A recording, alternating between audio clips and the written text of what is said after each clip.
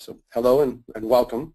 Um, my name is Chris Bross. Uh, I may know some of you people out there, and for those of you who don't know me, uh, I've been here at DriveSavers over 16 years in a variety of uh, responsibilities from engineering up to my current responsibilities, uh, managing the research and development team on solid-state drive and NAND flash storage technologies. Um, I'm really excited to share some good information on this growing storage market with you, and more importantly, what you need to know about data recovery if and when failure does occur with these emerging storage technologies. If you've already taken the plunge and deployed a solid state drive, uh, I'm sure you've already realized the significant advantages it has over your old hard drive. I sure have, and I know that I appreciate my 12-second boot time and my quick shutdowns and the efficiency of my systems uh, where I have SSD deployed. Uh, if you have any questions uh, throughout the uh, presentation, as I hope you will, please queue them up and you can uh, chat them. Uh, John Christopher will be in the room with me here as uh, the organizer, and we'll take your questions at the end in order, uh, as many as we can, and those we can't we'll take off of line as well. Uh, you'll get email and a follow-up from us about two hours after the webinar is completed. All of those in attendance will receive a very special DriveSavers Photon flashlight. Uh, if you've ever seen these before, uh, they're very popular with our partners, and we'll be sure to get one out to each one of you who has registered and attended today. And at the end of the presentation, we'll also be doing a quick drawing, uh, and we'll be giving away a brand new LaCie Rikiki hard disk uh, to one lucky participant today. And so make sure you stay around for the Q&A session at the end of the presentation. So with that, let's get started here talking about solid-state drives and NAND flash devices, secure, fast, reliable, but recoverable. Whoops, I'm skipping ahead there too quickly. Uh, real quickly, what's new? Uh, well, there's always something new at DriveSavers in our world of storage. And what's relevant to probably most of you listening today in the field you're in, um, a couple of things that have just happened that are really uh, important to recognize.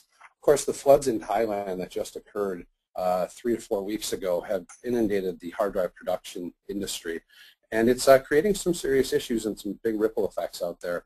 Predictions are that supply will be interrupted through Q2 2012, um, possibly 25% reduction in manufacturing this year. I'm sure you've already seen the retail prices have more than doubled on some hard drives out there in the field. Um, our perception is this is putting more data at risk with older hardware that's aged out there in the field that's not getting replaced as it should. And some people are talking about this will drive some move to solid state drives um, because they're not having a, a, production interruption.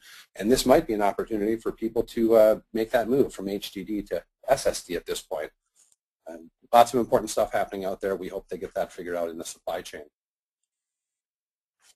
And some important news right now from DriveSavers. Some of you may have heard this recently uh, in the press, but uh, is, is, very proud to announce that we were just awarded the HIPAA Business Associate status to provide HIPAA compliance uh, for all of our partners out there uh, who are governed by U.S. federal um, uh, policy on this.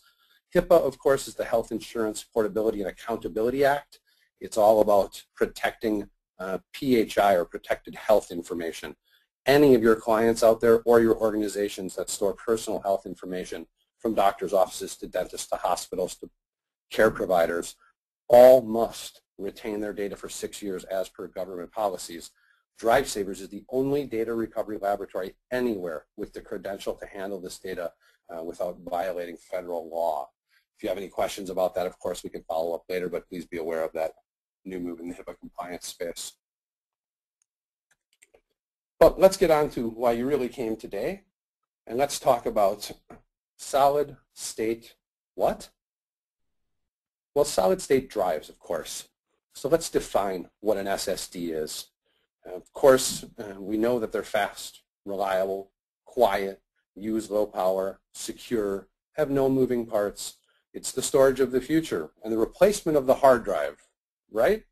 Well, maybe, but maybe not. So an SSD by definition is truly a non-volatile memory-based storage device. What does that mean? Well, an SSD, sometimes called a solid-state disk or drive, is a data storage device using solid state memory to store persistent or non, non-volatile memory chips, currently using NAND flash as that technology. But we'll talk a little bit about why NAND flash may not be the choice forever. Um, currently, we're looking at a run rate of around 3% of the global storage pool is going SSD, maybe 12, 13 million units produced uh, last year versus 600 plus million hard drives produced last year. The place we're seeing traction and growth with these devices is really in, in consumer devices, um, smart devices, phones, tablets, etc. Ultrabooks, uh, the new category, or pro notebooks, and in the enterprise. So what are we really talking about here? Well, NAND flash memory, as I mentioned just a moment ago, uh, is the type of non-volatile storage that's currently used in most solid-state drive applications. Uh, it, unlike DRAM or other types of RAM, of course, is persistent. It maintains the data uh, and does not require power to do so. Uh, that, of course, is uh, contrary to how RAM works. The major players in this market, I'm sure you know most of them, SanDisk and Toshiba, Samsung, Intel working with Micron, and Hynix is a huge producer of NAND flash. In fact, uh, recently we learned the iPhone 4S is using Hynix memory, and that's Apple's first time of, of going with that particular vendor. But those companies are producing most of the NAND flash uh, in the world today. So before we dig deep into the NAND flash, I want to do a quick checkpoint here um, and take a, a virtual survey that you don't need to shout out or raise your hand for, but just think it to yourself. Who out there in this audience of 80-some people so far has lost data due to a drive crash? Statistically, probably 75% of you um, would acknowledge that you have. I know I have. I know most of us have out there. You know, the reality is, is that hard disk-based storage is what we've been used to for 50 years of technology. And that's what we're used to having in our systems when we've experienced these types of mechanical failures, clickers, problems, etc. That typically look like this. If you see that image that just popped up on your screen there, that's a, a what's termed a head crash in common terms. In technical terms, that's head-to-disk interface contact or dynamic head contact, where the heads have crashed into the platter, causing a physical media failure. Um, same challenges of over 50 years of drive technology. Still the primary reason we do data recovery at DriveSavers is electromechanical device failure. These drives are spinning at up to 15,000 RPMs today for enterprise class drives. The fly height between that head assembly and the platter that you see there, where unfortunately a touchdown, is down to 3 nanometers in gap which is amazing that these drives can operate at that rotational speed and not crash. But it is not a question of if a device is going to fail. It's a question of when that device is going to fail and whether or not you're backed up at the time. So that leads us to what we really want to talk about today. We're smarter now, right? We've experienced these drive crashes. We understand what data loss is. We've all got a perfect backup of our data because we know that all storage is not reliable, right? Or are we just using smarter devices? Or are we just calling these devices smart? Some of these uh, devices, phones, tablets, etc., almost think for themselves. Some of them back up automatically to the cloud. You know, we don't even have to worry about the data stored on these devices anymore. They're so reliable, right? Well, let's dig in here. And let's talk about what devices are out there in the field and what we're doing about data recovery on them. Of course, smartphones are using NAND flash technology. Now this isn't an SSD like we defined it, but it's using NAND flash on the board to provide the storage. Google's done a great job with the Android operating system. There's over 190 million Android handsets out there uh, and over 3 million tablets running some version of Android right now. Of course, if we look at what Apple has done uh, to the NAND flash market, it's amazing. They are the largest purchaser and seller of NAND flash in the world right now. Um, there's over 250 million iOS devices in the field, iPods, iPad, and iPhones. And of course, all of those devices are using NAND flash uh, for their storage, as we discussed. Millions of these devices getting into the field very quickly. And of course, the cloud. Uh, the icon here is course, iCloud, but it could be any cloud service provider, of which there are many opening each week and some going out of business. Um, you know, I've got to take my one shot at the cloud here as it offers something for some people, but not everything to everyone. Um, it can be an important part of a data protection strategy and a backup plan. It's great as one level of your backup, um, but it is not the only backup that you should be using. I like to remind everybody out there that the cloud uh, lives on hard drives too, uh, and increasingly on solid state drives today uh, in that enterprise providing storage for some cloud services. So this is a new technology to many people.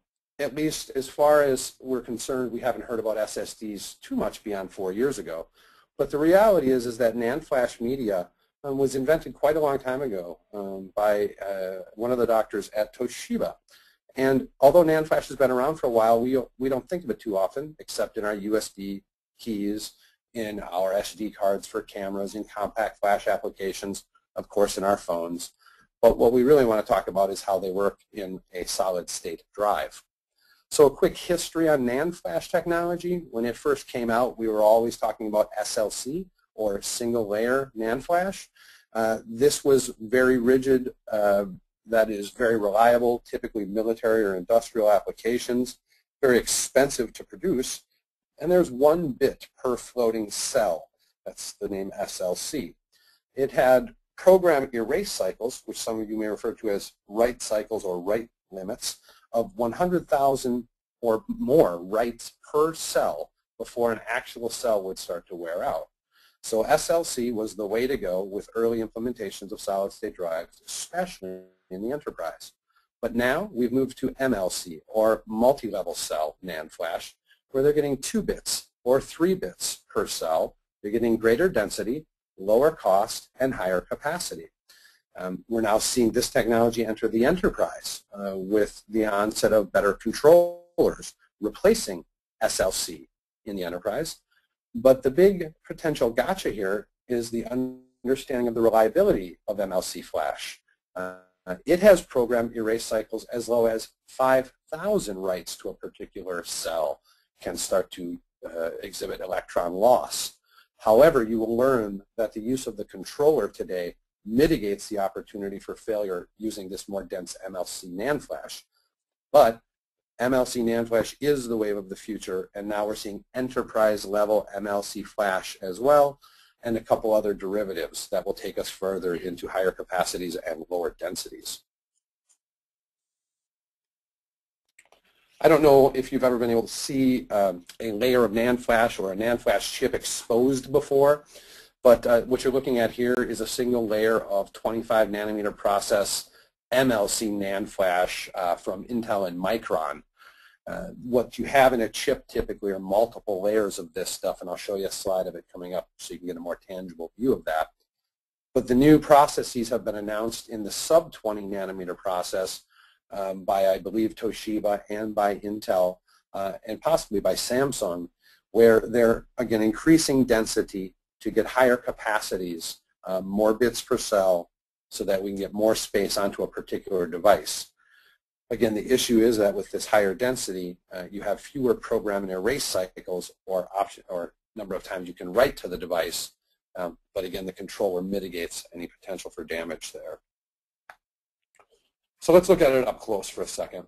Uh, this may look like a bad dental x-ray, but it's actually a, a microscopic view of a cross-section of what you just saw on that prior slide.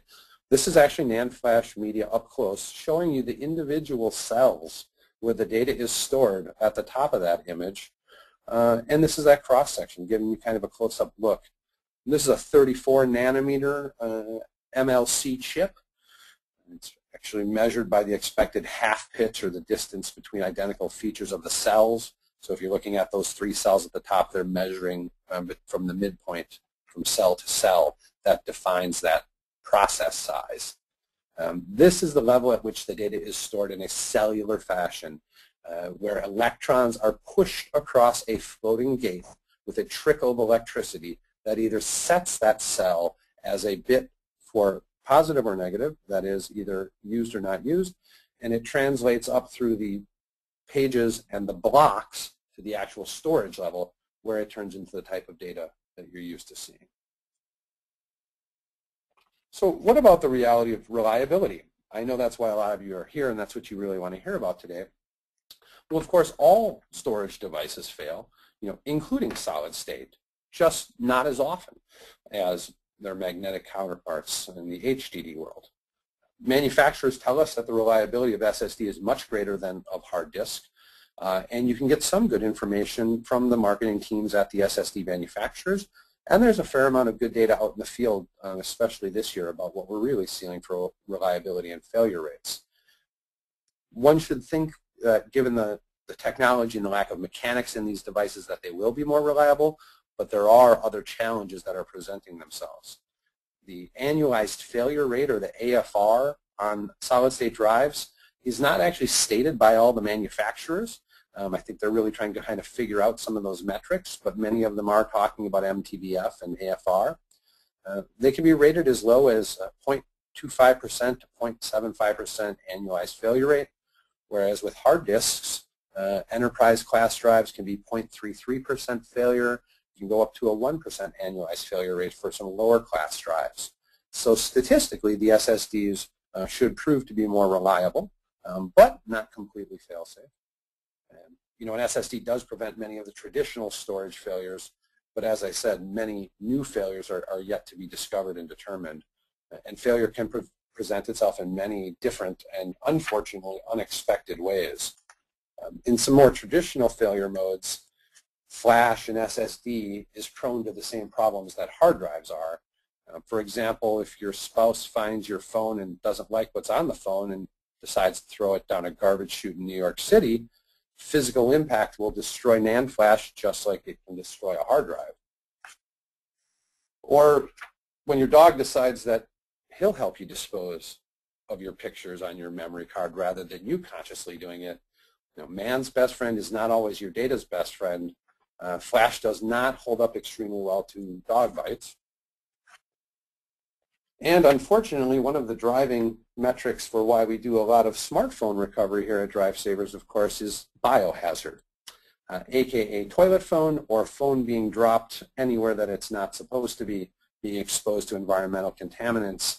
Um, phones are vulnerable. They're with us all the time, and unfortunately, they get dropped quite a bit. And they don't do so well in certain circumstances of exposure, just like hard drives don't as well.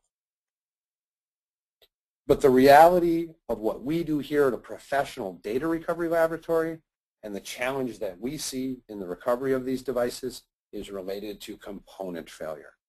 Just like on a hard drive, component failure is typically the genesis of most of the reason uh, drives show up here. Component failure on an SSD is the same. The issue is that there are fewer components and fewer opportunities to resolve.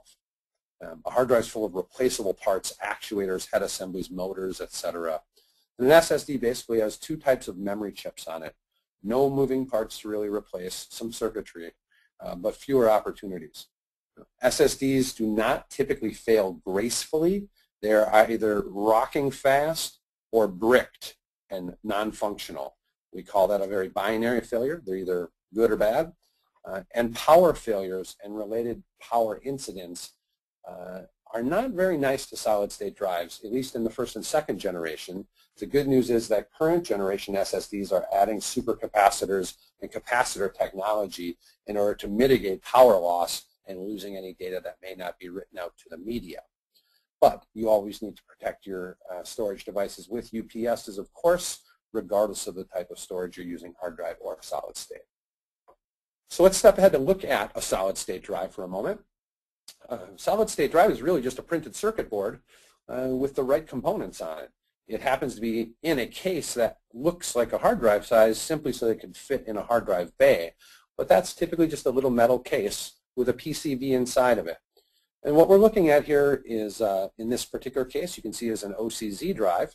Uh, and on the board, we're looking at two different components, really. The controller, in this case, if you can see it, there's a SandForce controller in the middle of the drive one of the premier companies producing controllers today uh, that DriveSavers is, is working closely with as well. And then you can see the NAND flash. Uh, in this view, you see eight different TSOP chip packages, which happen to be Intel Micron based. And we can see that they're married together on this circuit board without any RAM. Uh, there it is, your two components. In some cases, you will see some DRAM on a board, but not in this implementation. So what we're really talking about, though, is the controller as the key. Uh, the controller is the brain of the solid-state drive. Just like in a RAID environment, the RAID controller handles how all those disks will operate. But an SSD controller has to be like a RAID controller plus a whole bunch of other IP that it needs to manage internally. Uh, it contains the special sauce, as we say, that differentiates one controller from its competition. Um, right now, the market leaders in this space, and names you're probably familiar with, uh, SandForce has 20-some companies building SSDs based on its controller technology. Marvell has always been a big player in this space. Toshiba, JMicron, Indilinx, uh, of course Intel, Samsung, all of these companies are making the controllers and they're all competing to differentiate whose controller does what and how they can really market the differences in these SSDs.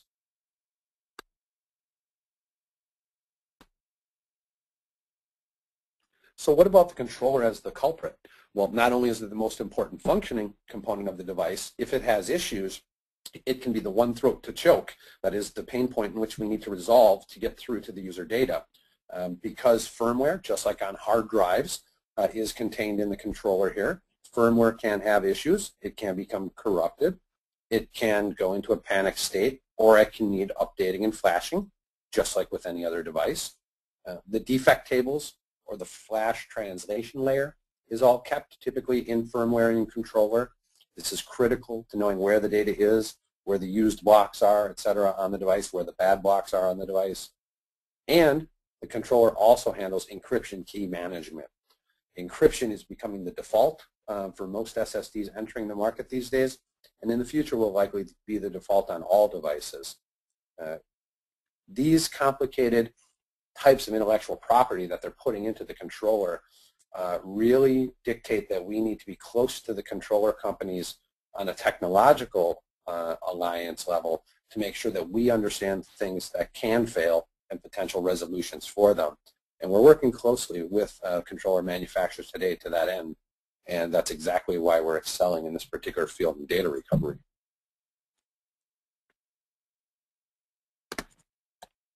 Whoops, excuse me, I hop skipped and jumped a slide there. Here's another image. If you can see this, this is actually a really interesting image. This happens to be an X-ray view of an eight-layer NAND flash package that came out of an iPhone. Uh, if you can see what's going on here, this is one of those chips you saw on that SSD cut in half and a cross-section view uh, put into an X-ray machine, looking at the eight layers of NAND flash. Each of those layers of gray that you see there are like that iridescent photo you saw earlier of the Intel NAND flash. All of that stacked into one single chip where their micro leads keep these chips together and they then represent one chip on the board there might be 8 or 16 chips on the board with 4 to 8 layers of NAND flash in each chip.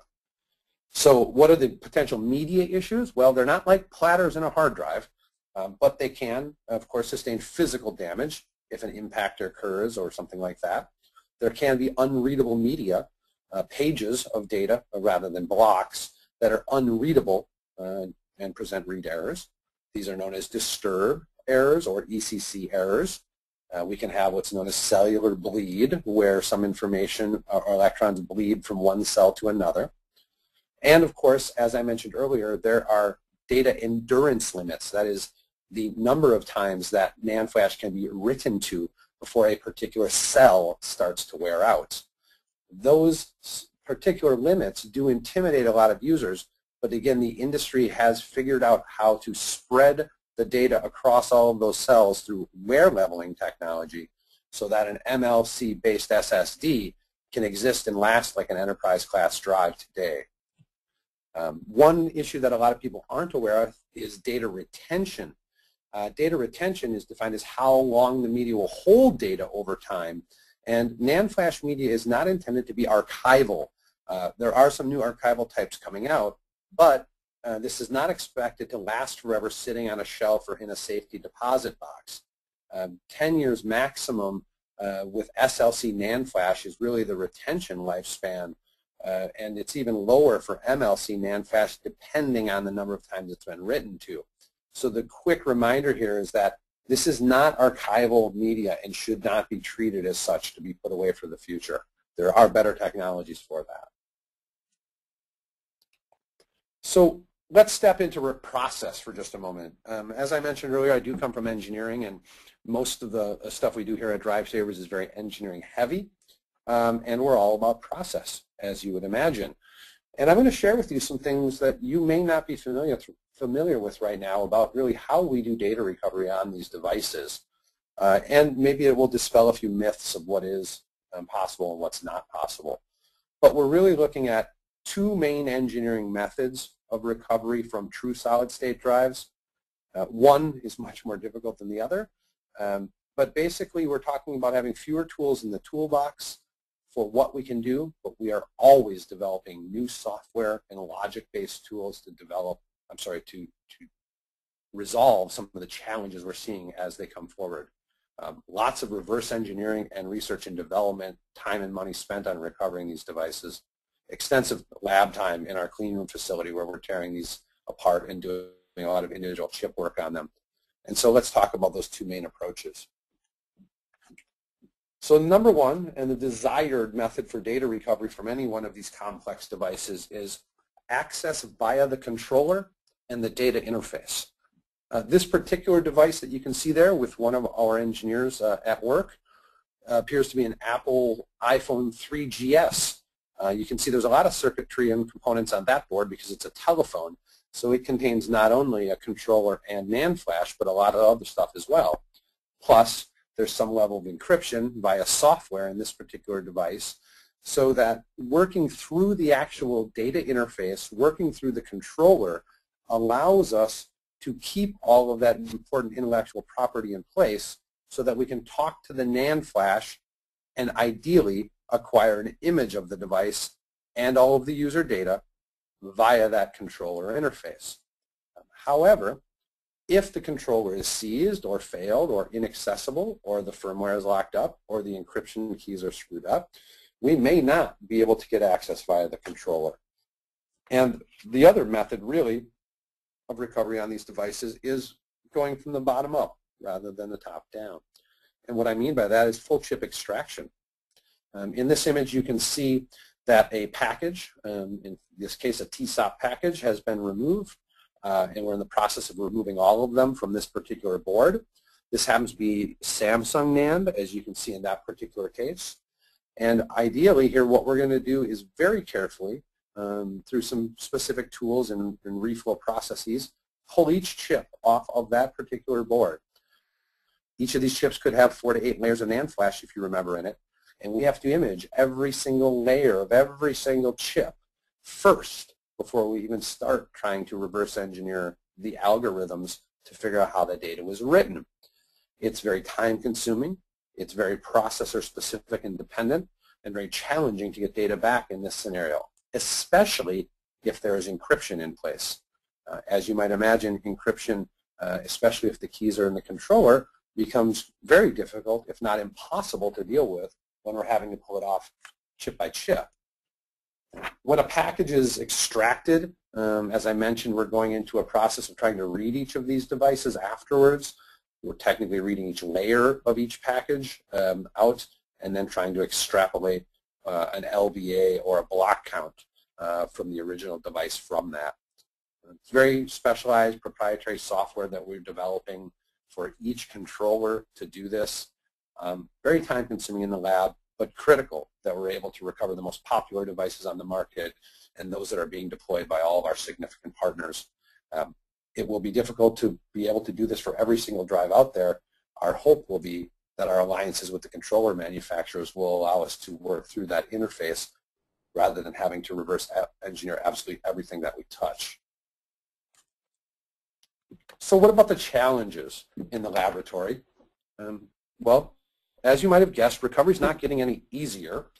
Um, probably never will. That's part of the business world we live in. But as with everything at DriveSavers, new technology will always present new challenges, which will then drive new solutions. So in the world of solid-state drives, the things that uh, we talk about uh, most often in our weekly R&D meetings are, of course, self-encrypting drives, full disk encryption. I'm not sure who out in the field right now is running any full disk encryption, uh, or if you're even aware that you are running full disk encryption in hardware. Uh, most people think of encryption in software uh, via the operating system or file system. But with SSDs, uh, more encryption is being done in silicon for two reasons. One, security. Of course, at 256-bit AES encryption, that's quite locked down. Um, at DriveSavers, we don't break or hack encryption. We recover broken encrypted devices. So what I mean by that is we need to get access to these devices like everyone else through the encryption keys. However, with a solid state drive, it creates some additional complexities in recovery, especially if we have to tear chips off of the board. Um, some SSDs even have two layers of physical encryption on two different data streams going on in the device. So the question is, if you are deploying a self-encrypting or full disk encrypting SSD, how is your authentication set up for that? And are you aware that you have an encrypting device there? Um, we do believe in encryption. We promote encryption. We suggest you protect your data, but treat an encrypted device like any other one. Maintain the keys in a very safe and secure location and back the device up just like anything else. So what about TRIM? Um, TRIM as a definition related to solid state drives. I'm not sure if anyone's familiar with the definition, but um, you should be. Um, we'll talk about it for a moment here. And I'll use a comparison analogy to illustrate the point. Uh, on a hard drive or any type of magnetic-based storage, if you throw a file in the trash or the recycle bin and then empty that bin, that file still exists on that media forever until it is physically overwritten. As many of you know, you can undelete files or recover deleted files from hard disks quite easily with software if there are no extenuating circumstances. However, SSDs work differently. Trim is a command from the operating system that is sent down to the actual storage device, and it needs to be a trim-aware storage device. Trim is supported in Windows 7, Mac OS Lion, and earlier versions with a patch, and in the current Linux kernel. Trim is a command that the operating system sends to the storage device that says once you have emptied the recycle or the trash bin, I want you to now go out and actually erase that data at a cellular level from the NAND flash. So it is a very uh, intentional erasure by the operating system, not for security reasons, but for performance reasons. Because NAND flash requires that a block be erased before it is written to, the operating system wants to clear that block now so that later when you want to write to it, you have a faster write operation. The potential gotcha, uh, at least in tangible terms here, is that people who think you can undelete files that you have thrown in the trash inadvertently will be sorely disappointed. Um, undeleting files will not be possible when trim is fully enabled and when the trim command has run to remove that data in the background. Um, that's an important thing to understand in the support world for people who think it's easy to get data back from a deletion situation. Uh, in fact, it is not. That's related to this fabulous graphic on garbage collection. I think it at least illustrates the point. Um, but garbage collection uh, on a solid state drive, well, just think of it as trim running in the background as an automatic task of the controller. Um, it is not per se trim However, it is like trim. The controller will constantly monitor its usage of the NAND flash, and it will go out and clear blocks, pick up partial blocks or pages and rewrite them to other areas to really optimize the media, balance the bit load across all of the NAND flash, and really make the drive as efficient as it can as an automatic process. This again is defined as garbage collection, and it works in other storage worlds as well, but that's how it works specific to solid-state drives. Um, it does create a whole other discussion about the forensic viability of recovery from these devices. Anybody who's involved in forensics or e-discovery, as we are here at DriveSavers, um, you may know it's one of the services we provide. Uh, there's quite a bit of talk in the industry about uh, what happens with a device that's an SSD that has aged over time there won't be as many so-called footprints or tracks left uh, of the data storage history because the drive is constantly cleaning itself. Um, but there are some papers available on that, uh, white papers from the industry, and if you're interested, you can send me an email, and I'm happy to send that information to you after the presentation. So looking ahead, what are, what are we going to be seeing next year, later this year, three years from now in the storage space, uh, specifically related to SSDs?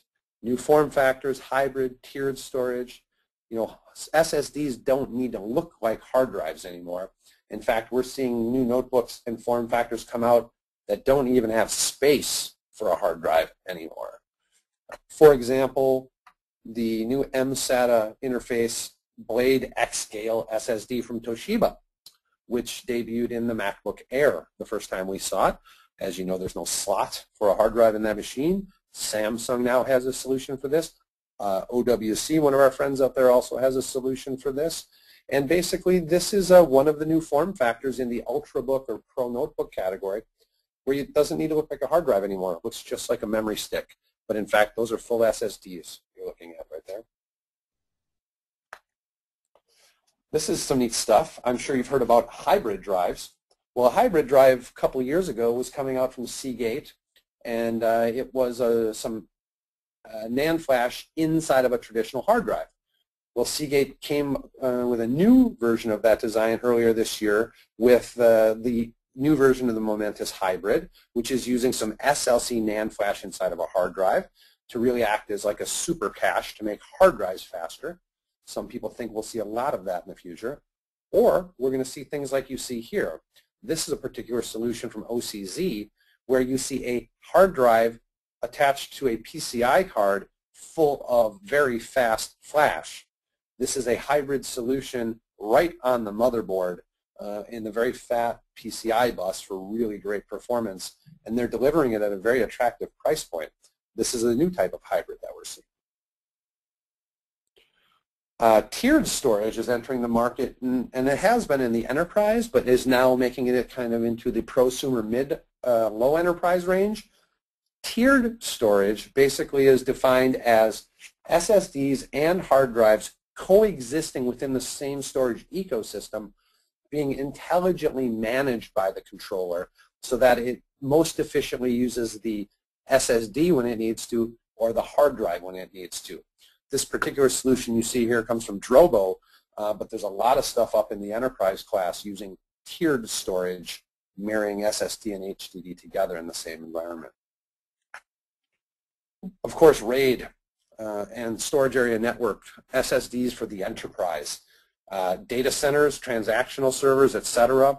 There's been a couple of reports that came out this year about exactly what people are doing in this space, uh, replacing very fast fiber channel or SAS-based disk arrays with solid-state drive RAIDs specifically for performance reasons.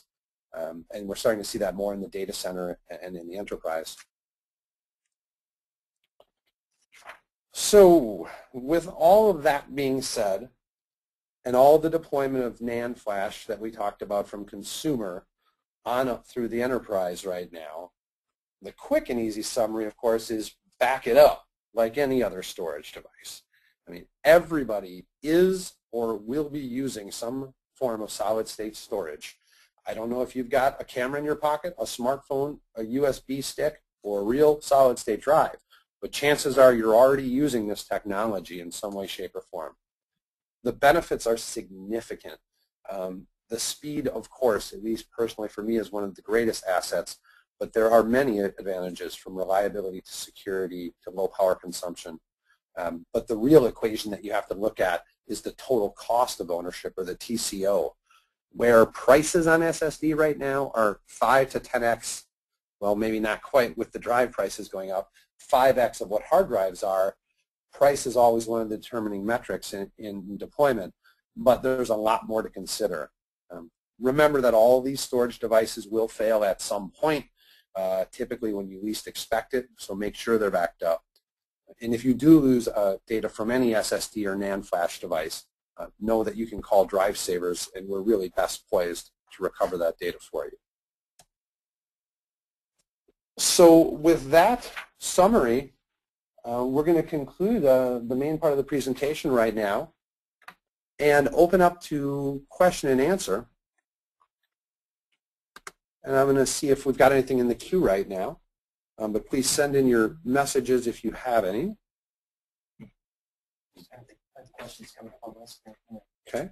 It looks like we are receiving some of the questions right now, but due to whatever technological issue, I'm not seeing them, but uh, my counterpart, John Christopher, is. So we'll see if we can uh, answer some questions live right now as we move forward. And remember to hang around for a couple of minutes because uh, we are going to do a drawing for a hard drive as well. John's going to queue up a couple of questions for me here. Hold on just a moment, please. Okay.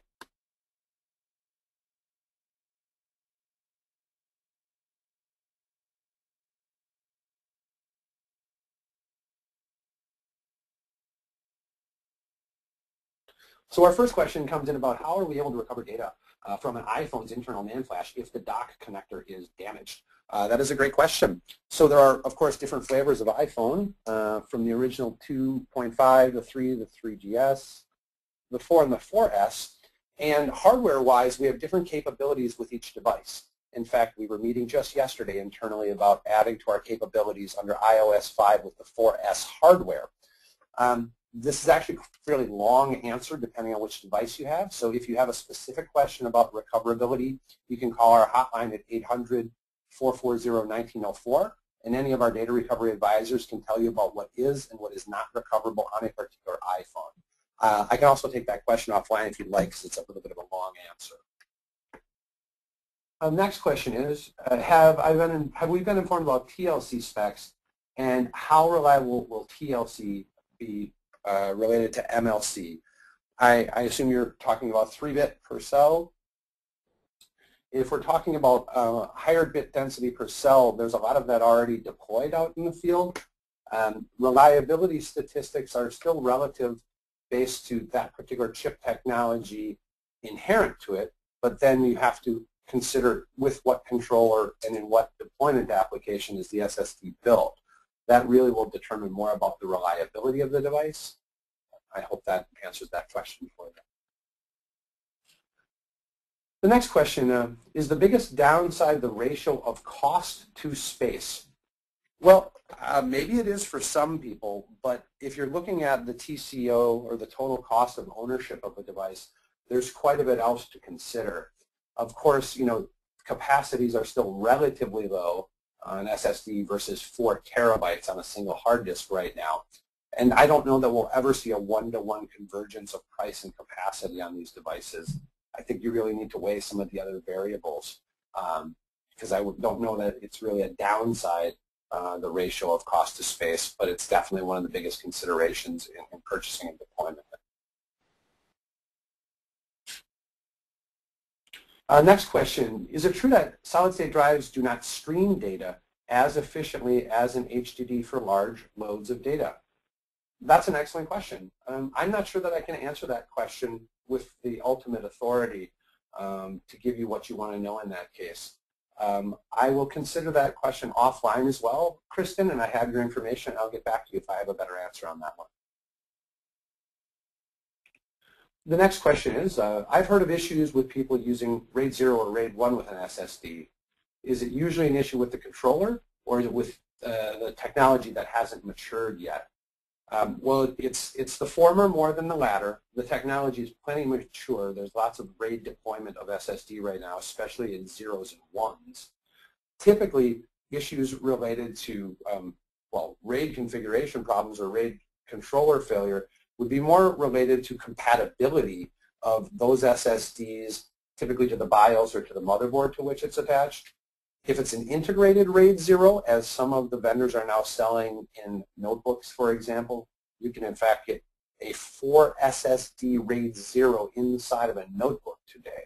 Um, those are component married and qualified quite well and work extremely well. So there's no inherent known issues with RAID 0ing or RAID 1ing uh, SSDs together, but you do want to check with the manufacturer to see if it's been spec and supported for that reason. Um, next question is, what's the difference between trim and garbage collection? That's a great question. Trim is specifically an operating system command that is executed when a file is deleted from the trash or the recycle bin, sent from the operating system to the storage media, telling it to go ahead and erase those cells or blocks where the data was stored. Garbage collection is conceptually similar to it, except that it's an automatic process of the controller running to best maintain the SSD rather than a specific command sent from the operating system. Hope that one answers that one uh, um, succinctly for you. Uh, next question is regarding trim. Does that solve the problem of securely wiping data on SSDs? Uh, as I understand, PCI DSS, oh, according to the spec, one cannot batch process credit card data in clear text with a server that uses SSD because the clear text data cannot be securely wiped at the end of the batch processing. Uh, um, the question is a little longer than that, but I'll, I'll, answer this for you. There's quite a bit of discussion out there about uh, how to securely wipe an SSD right now. Built into the controller as a protocol spec is a command called secure erase, and that command can be executed by a software or by the hardware itself. And that does an excellent job of actually removing all the data from the NAND flash media. But there are some elements of the security world um, who don't believe that that is sufficient, at least for the applications needed out there right now. There is a new technology called Enhanced Secure Erase, which is not yet fully deployed uh, in firmware, but that actually allows the erasure of all other areas, defect tables, etc., from the NAND flash as well. Um, it's an excellent question and it warrants a larger answer. And uh, Steve, I'll capture that from you and I'll provide you with some docs offline uh, about some of the industry stuff that's going on with that right now. Uh, next question is how can one verify that an SSD supports or implements trim? A couple of ways. One is from the manufacturer. They will definitely tell you directly whether or not it's a trim-enabled device. Second consideration is your operating system, of course, whether or not it's supporting trim or if you're using a legacy one, can you patch it to support trim? Um, and other than that, typically trim, I think with some command line feedback in certain OSs, you can see if a drive is trim enabled, but I can't speak specifically to how each uh, OS identifies it. Uh, next question is, uh, what are the price, or are there any price premiums for SSD data recovery? Excellent question. Uh, you heard me mention that it takes a lot of time and cost to recover these devices, but for our partners and for our customers, we are currently pricing SSD data recovery just like hard drives using the same pricing categories that you're familiar with. So it does not cost any more to, uh, there's no premium to recover an SSD versus a hard drive uh, in today's pricing structure. Another quick question about securely erasing an SSD. Again, there are software applications that will do this, of course, that do multiple overwrites of devices. Um, if you want to look up that spec for secure erase, it is extremely clearly defined uh, exactly how it operates. Um, so again, there is software level stuff, or it can be called by a firmware to go ahead and erase a drive.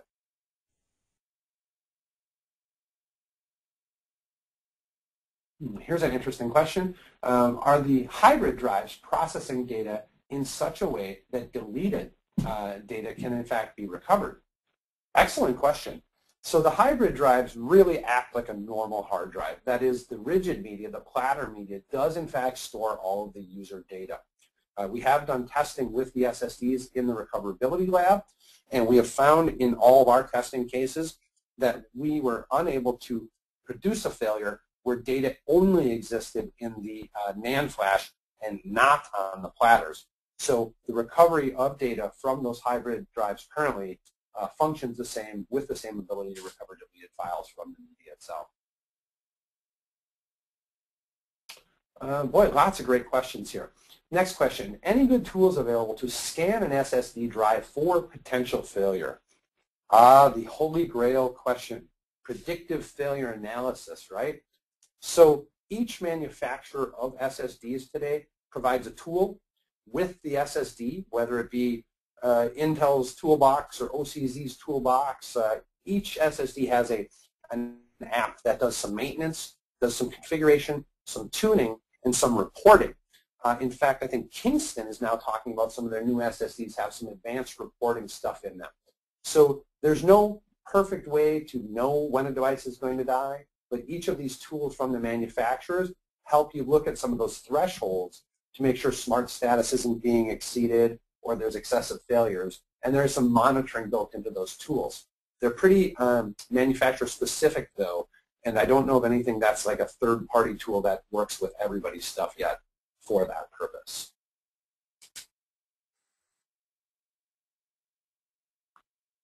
Uh, question on the iPhone, is it possible to recover data from a phone reset to the factory condition by mistake? Uh, the answer is, the short answer is no. The longer answer is there's typically more to know about the process of what happened and how the data was lost to see whether or not maybe we're missing something in the process that gives us a shot to still recover it. But the full factory restore will, in fact, blow up the data. Um, but it is worth a phone call to us because, as I discussed, um, we met just yesterday about what's cap what our capabilities are, and we're capable of some things that people think are impossible currently in the recovery of the iPhones. Uh, next question, are SSDs affected by temperature extremes? Uh, they are, however, those extremes are typically higher thresholds than they are for hard drives. Uh, but silicon will bake or melt uh, like other technologies at a high enough temperature. And how does it affect the recovery chances? Well, if a NAND flash package has been exposed to enough heat that it has actually melted the package, we are not going to be recovering any data from it just like if a platter was shattered or melted in a fire.